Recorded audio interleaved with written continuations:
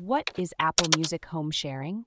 Have you ever wondered how you can access your entire music and media library from any device in your home? That's where Apple Music Home Sharing comes in.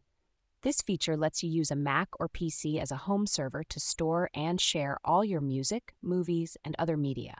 To set it up, you need to ensure all your devices are connected to the same Wi Fi or Ethernet network and are signed in with the same Apple ID. On your Mac, go to the Apple menu, select System Settings or System Preferences, then click on General and Sharing. Turn on Media Sharing and select Home Sharing, entering your Apple ID to activate it.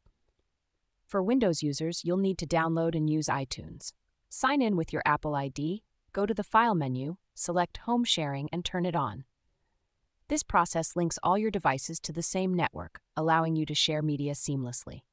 Once home sharing is set up, you can access your media library from any authorized device. On your Mac or PC, open the Music app or iTunes, sign in with your Apple ID, and you'll see the shared library in the sidebar.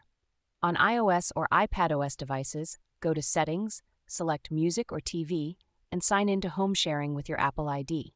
This will add a new home sharing tab in the Music or Apple TV app where you can select and play media from your shared library.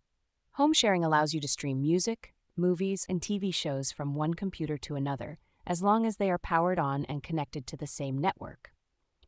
You can authorize up to five computers to access your media library, making it easy to share your favorite content across all your devices.